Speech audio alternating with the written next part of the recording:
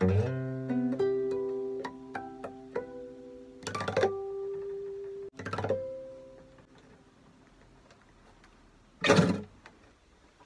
前のりし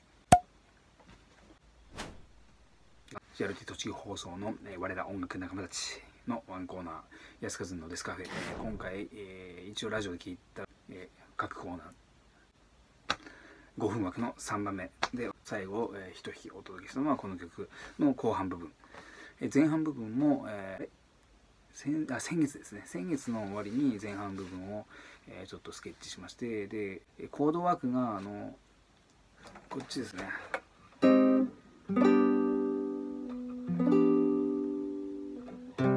っていくコードワークを一番最初に思いついたんですけども先月弾いた時はメロディーもちょっと落としてっていう風な流れを、えー作ったんですけどもともとはこっちに行きたい気持ちもあったんでこれをちょっとつなげて弾いてみました。で先月の締めは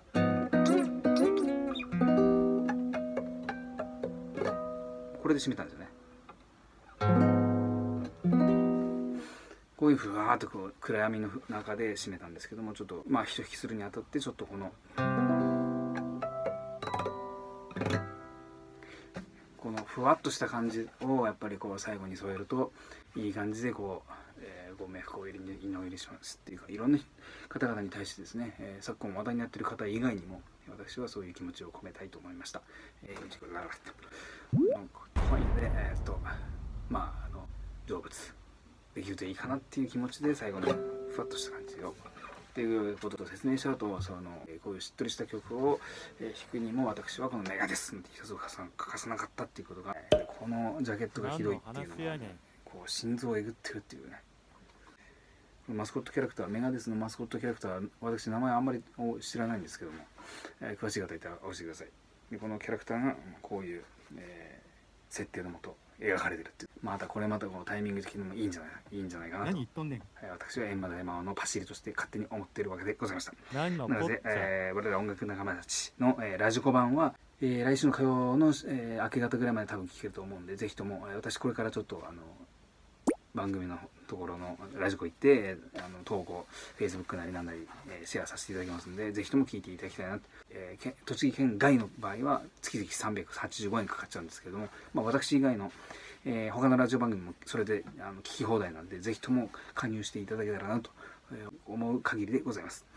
まあありがたいことに私のこの安和のデスカフェきっかけで全国のその